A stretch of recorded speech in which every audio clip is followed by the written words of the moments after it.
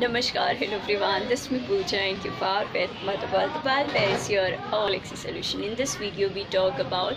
drone responsibility जे या फिर इस समय बहुत ही पॉपुलर नाम जो है कहा जाता है what is a job description of M R medical representative का जॉब डिस्क्रिप्शन क्या होता है? So I will take only five points and in this five points you just make your own sentence और इससे ज़्यादा आपको याद नहीं करना है। फॉर इंटरव्यू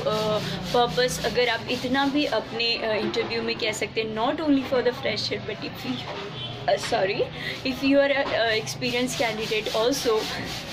तो भी आप अगर ये फाइव पॉइंट्स कवर कर लेते हैं तो डेफिनेटली आप उस इंटरव्यू को क्रैक कर जाएँगे। Okay first of all I am so sorry first जो उनका काम होता है their job is to promote present the existing medicine to the health care professional like doctors pharmacist and the stockist in a particular territory जहाँ पे वो allot किए जाते हैं इलेक्ट किए जाते हैं। इलेक्ट नहीं कह सकते हैं जहाँ पे वो अलॉट जो एरिया या टेरिटरी उन्हें अलॉट किया जाता है। इन पर्टिकुलर टेरिटरी आप ऐड करेंगे तो आपको ज़्यादा अच्छा लगेगा। सेकेंड सबसे इंपॉर्टेंट पॉइंट होता है they generate the prescription so they increase the sales demands also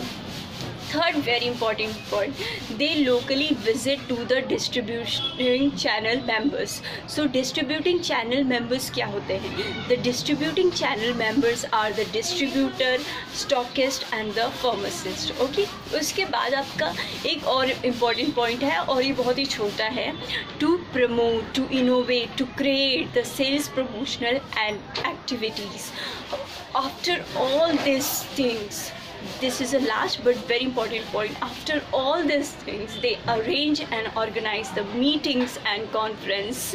they attend as well as to briefly describe the things with their seniors जैसे आपको पता ही होगा कि